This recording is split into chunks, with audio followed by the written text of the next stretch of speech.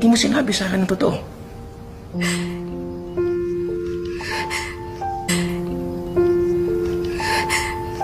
Natakot kasi ako.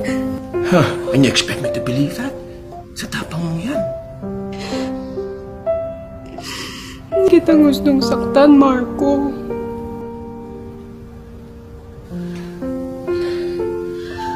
I almost died.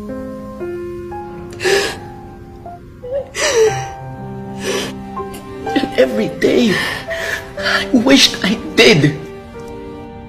Tell me! I was beginning to see my father in you.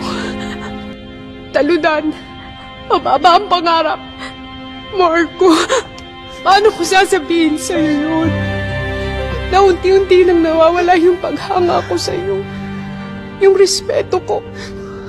Natakot ako